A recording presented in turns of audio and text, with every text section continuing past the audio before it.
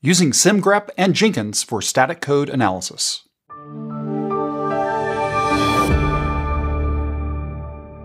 Semgrep is a fast, open source static analysis tool that you can use to find bugs and enforce standards at all points during your software development lifecycle. When Semgrep analyzes your code, it all stays local to that computer, meaning your code never leaves your machine.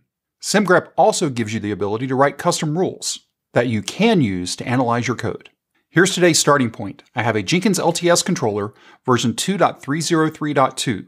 When this controller was installed, it was installed using install suggested plugins. Attached to this controller, I have an agent. It's a CentOS-based agent, and on that agent, I have Docker installed. Here we are at the Semgrep site. It's at semgrep.dev. And you can go through and see different things along the header, rules, playground, app, and docs. Let's go ahead and go over to the docs specifically for getting started. Now, since we're going to be running this inside of Jenkins, we're going to look at a different way to run it in just a couple of minutes, but if you're wanting to run it locally before you even commit your code, you can install the semgrep binary. If you're on Mac OS, you can just simply do a brew install semgrep, or you can install it via pip. When you actually run semgrep, depending on what happens when the binary runs, will give you a different exit code. And all the exit codes are defined under CLI reference. And if it was successful, we'll get a zero, just as you would expect. Sometimes you'll get a one that it ran successfully and found issues, and a number of other exit codes that you could test for as you are going through and running Semgrep. But since we're focused on actually running Semgrep inside of Jenkins, let's take a look at the documentation for Semgrep CI. Now, Semgrep CI, also known as Semgrep Action, is a specialized Docker image. That's the reason why we have an agent that has Docker installed on it. There is no standalone binary for the Semgrep agent binary. You have to use the container image. Now, Semgrep gives us an example of how to run Semgrep agent along with Jenkins. And let's take a look at that real quick. What we have here is Jenkins using Kubernetes and then running the container there. You can set environment variables and then run the command to run semgrep agent. And it's simply semgrep-agent. But in this video, we don't have Kubernetes. All we have is Docker. So I want to show you how to run this with just Docker. So in the case of Jenkins, what we're going to be doing is we're going to be doing docker run. We're going to mount in a volume, and it's going to be mounted to the slash source directory within the container. And this PWD will be the workspace of the job as it's running. We mount up a workdir, and then finally we pull in the image and say semgrep agent, and then we're going to be passing in some parameters to it. Our parameters are going to be a little bit different than this, but we'll say dash dash config, and in this case, you could say auto, and that would tell the Semgrep agent, based on the code, go figure out what rules to run. We're going to be very specific in which rules that we want to run. Now, what are these rules? If you go ahead and go back up to the top bar, you're going to see a rules tab. And in our case, since we're going to be running with Jenkins, we obviously will be using, or maybe not so obviously, we're going to be using the CI rule set. And if we click into the CI rule set, what we're going to see here is that there are 135 rules contained in this rule set, and it will cover numerous languages. It supports Python, Java, JavaScript, and Go. And if we were to scroll through everything, we would see how these are all listed. In case the first page is Go, and we can keep clicking through some more, there's some Javas, there's some Pythons, and then finally there are some Rubies. So by using a rule set, we have these predefined rule sets that we can use. But also remember that we can write our own custom rules. Now, we're not going to be going over how to write custom rules and how to use them. If you're interested in see how to do that, leave a comment down in the video. So let's go take a look at our first repository. What I have here is a fork of the WebGoat repository. Now, WebGoat is a very deliberately insecure application. And what I've done is I forked it and then I created a Jenkins file in the repository so we could just pull it in and run it like a normal declarative pipeline. So if we take a look at the Jenkins file, let's see what we have here.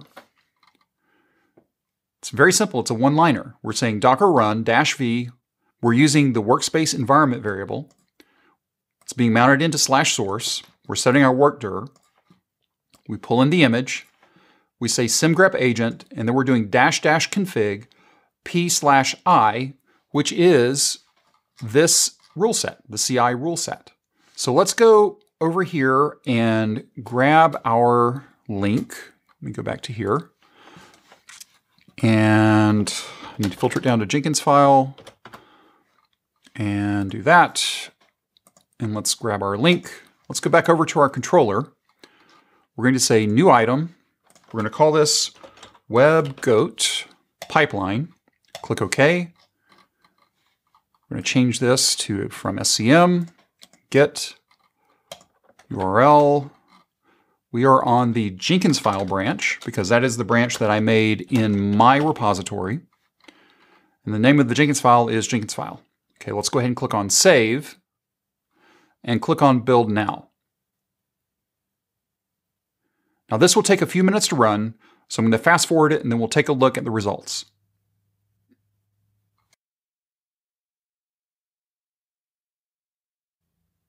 Okay, our job is completed, and we can see here at the very bottom, the script returned an exit code 1. Well, if we go back to our example of our exit codes, we can see that one, Semgrep ran successfully, meaning Semgrep ran, but it found issues and the error flag was set. So this is the error code that we got. But if we go back and take a look here, let's go back to the top of the run and see everything that happened.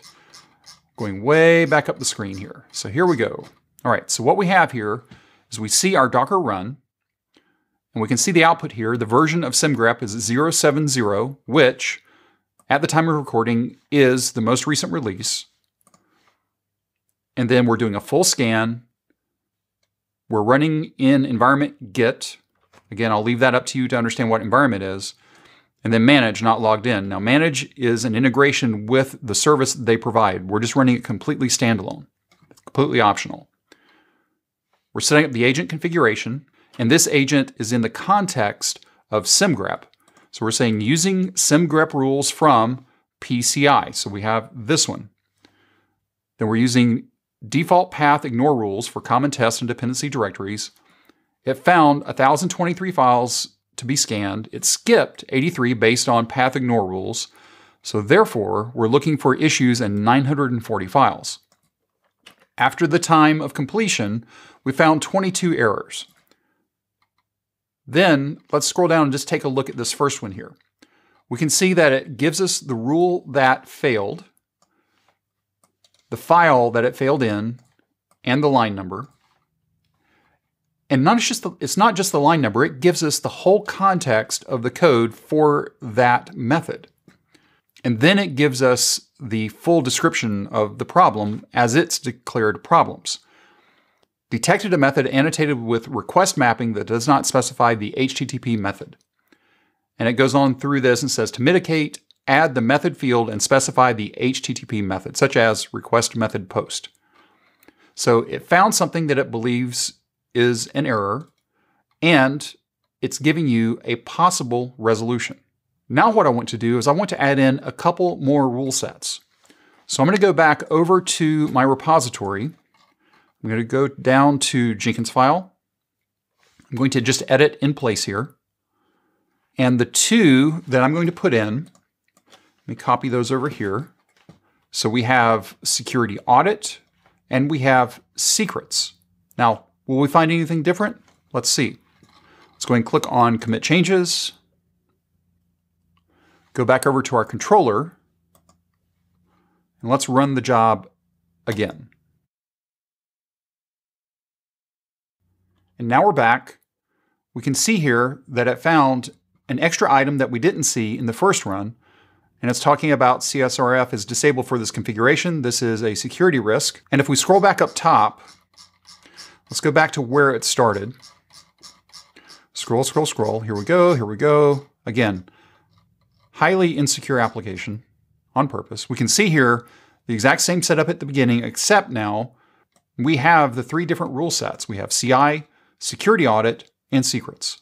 Why should you run a static analysis tool like Semgrep on your code? If you were to run Semgrep locally before you even push your code to your source control, you would be able to find and fix those changes before they even hit source control. As we saw through our WebGoat example, even if code is pushed into your repository during your CI processes, you can block issues from ever reaching your production environment. If you have any questions or comments, you can reach out to us on Twitter at CloudBeesDevs. If this video was helpful to you, give us a thumbs up.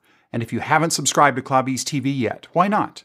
Take a moment, click on that subscribe button, and then ring that bell, and you'll be notified anytime there's new content available on CloudBees TV. Thanks for watching, and we will see you in the next video.